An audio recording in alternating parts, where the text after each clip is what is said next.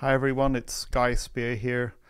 I wanted to do a video introduction to my um, semi-annual email update to people who wanted to stay in touch with me. And uh, so this month's email or this email has 11 sections. I hope you like all of them. I uh, start and end the email with the events of October 7th, which has taken up perhaps a share of your mind, it's taken up a share of my mind. And um, but moving on from there, uh, I go on to kind of like two friendivist, activist, don't know what you'd call them exactly, situations that are in my portfolio.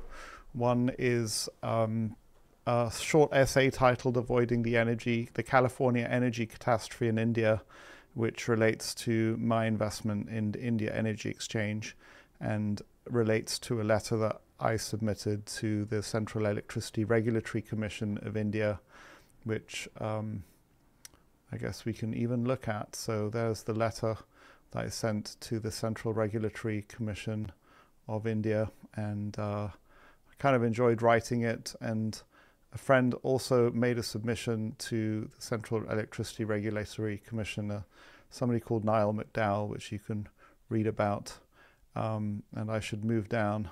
So uh, uh, just going into the first section for a second, I did a, a write-up of uh, Niall Ferguson's talk at the University of Zurich, and um, he feels like we're well into Cold War II, and Cold War II is different to Cold War One. Cold War One was Russia versus the Soviet Union with nuclear weapons uh, big conclusion that Niall Ferguson talks about is instead of mutual assured destruction, MAD, uh, he talks about mutually assured financial destruction, which he thinks is on the table potentially if the United States and China don't get their relationship right. And so uh, I wrote it up and I've given you a link there. And uh, yeah, we've talked about avoiding the global energy catastrophe in India.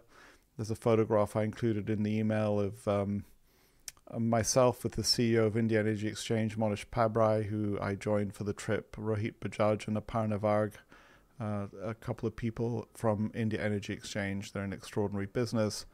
Um, and the third section, I talk about something that is, I think many good investment ideas origin, originate somewhere else. And this is an investment idea that I believe has originated with me, and I don't know if it'll work out, but I do get excited about the idea that Care Ratings might be the first ratings agency for a very long time that has come out and issued sovereign ratings. And it's not as if the developed economies of, say, Switzerland, Japan, um, United Kingdom, United States particularly need a sovereign rating from Care Ratings Indian credit rating agency, but it might be that countries like Ghana, Nigeria, Indonesia, Philippines might look somewhere other than the United States to get their ratings. And I think that Care Ratings is a phenomenal candidate. And uh, there's a letter that I have not yet written to the, um, in this case, it would be SEBI, in in which I kind of put the case that uh, a, proper developed uh, India would need to have its own domestically controlled credit rating agency, homegrown as opposed to the kind of ones that are controlled by companies like Moody's and Standard and Poor's, and that this is an important part of India's cultural projection of soft power, and it would be a shame if they didn't take advantage of that. And so, um, this is a draft letter hasn't been sent out yet, but I guess you know, I'm I'm in part I'm exposing this to my email subscribers because you know, I think that this idea of working in public and you never know where somebody comes up with a good idea. So I have exposed it there in section three. And um, there's a photograph of me with a uh, business development executive, Dina Sharma, who works in the Delhi area for Care Ratings. Um, Fourth section is an article by me, short article uh, written about how to make your investing strategy reproducible. as you all know, I have a lot of interest in this idea of ergodicity, and that has come up for me uh, through conversations with Luca Dell'Anna, who's based in Turin. I'm looking forward to meeting him soon. I did a podcast with him, and uh, the idea is briefly that in any uh, time or period, there's going to be something that looks extraordinarily successful and is going to beat whatever you're doing. But the very high likelihood is that it's not reproducible in the same way that somebody who's there's always somebody winning at the roulette table, but uh, it's a different person every time. And if you try to be that person, you might be that person one in however many times. It would be a very small proportion. By contrast, if you're the dealer or if you're the owner of the casino, every day there are people who win big against you, but they're different people. And over time, your strategy will work to extract money out of the people attending. So in investing, you want to kind of know is your strategy look like more more like the uh, owner of the casino or more like a big roller who will win one time but not often. Kind of made a mealy mouth of that, but um, I enjoy this photograph that I find that uh, demonstrates the idea. It's on LinkedIn right now, and um, it's a valuable distinction, I think, that has helped me.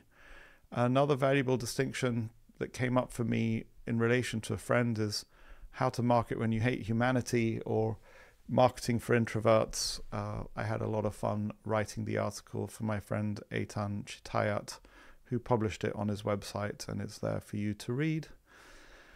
Um, and then uh, I highlight some of my recent podcasts and my podcast channel, uh, some of my conversations, excerpts of my conversations with William Green.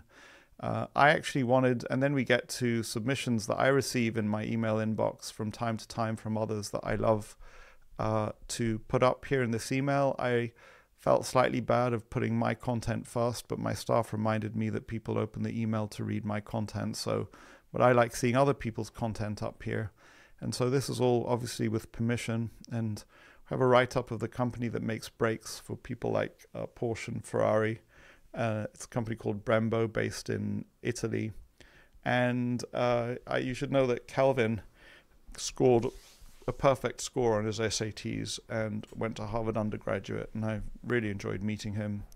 Uh, Joanna Jin is moving to London. Last time I checked in with her, she was at Goldman Sachs. She's a graduate of Yale and did an internship with me. Uh, I haven't. I really enjoy my interactions with her, and I think she did a great write up of Goldman Sachs acquisition and disposal of GreenSky. and so she had to get permission internally to actually mention the name of the company. So. Uh, uh, Pratiek on Manappuram Finance, Cornelius Kick was also an intern of ours. And um, I'll just go to the very last one because I don't want to take too much of your time in this video. Uh, Jahangir Appu, uh, who's part of our community at ValueX and a former surgeon, has got a an interesting VC fund, AIoT, and um, he writes a letter that he's allowed for me to share.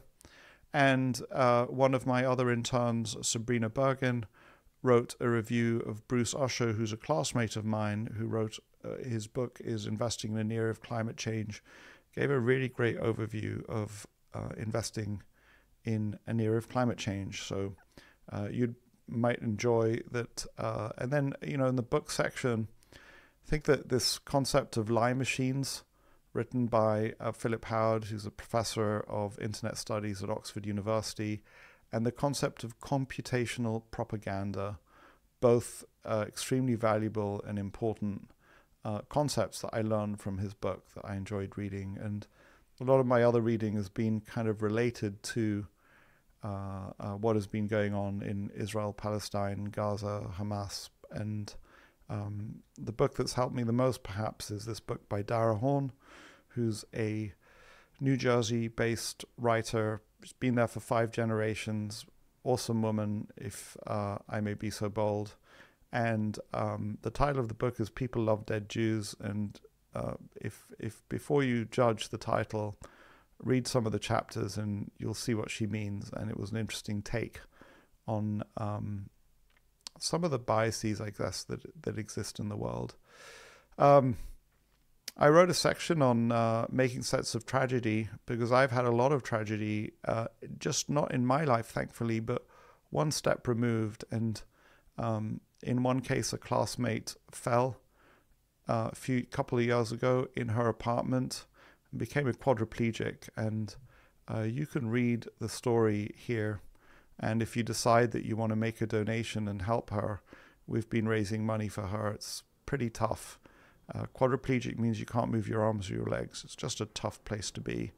And I think that uh, one of the results of me helping her uh, is that I've become more grateful for my own life. So there's a, we have to take what we good we can, and I kind of write some of my thinking on it, and I hope it's helpful. And another good friend of mine uh, suffered from brain cancer and died in the last six months, and he was my age, so we never know when our lives are going to be taken from us, as the disaster in Israel also shows. Last two sections, I'll record another video on this, but I'm going to be doing a charity lunch. Uh, it's now will be my fourth one. I think that one of the things that I didn't realize about hosting these charity lunches is that I get to meet some really interesting people, and the person who's bid up to have lunch with me has thought about it and there's a specific benefit to them that they've thought through why they're going to benefit from that launch. And what I didn't realize is that I benefit enormously because I get to really focus on and spend time with people that I might not otherwise have met. And so I learn every time, and I'm looking forward to seeing that go up. And the beneficiary is going to be the same one as last year, which is an organization on which whose board I sit called UN Watch, which seeks to hold the United Nations to the terms of its original charter and uh, has had some success, but there's a long way to go. And in my the last section here, I just go back to the issue that has been on my mind more than anything else uh, for many people. Uh, uh, what happened on October 7th in the south of Israel is worse than 9 11.